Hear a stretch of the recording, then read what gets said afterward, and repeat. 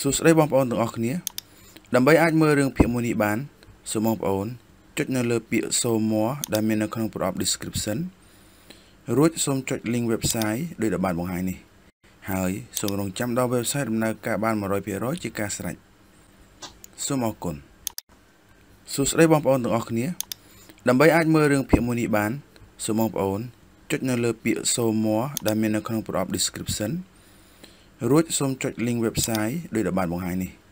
ហើយសូមរងចាំដល់ website ដំណើរការបាន100%ជាការស្រេចសូមអរគុណ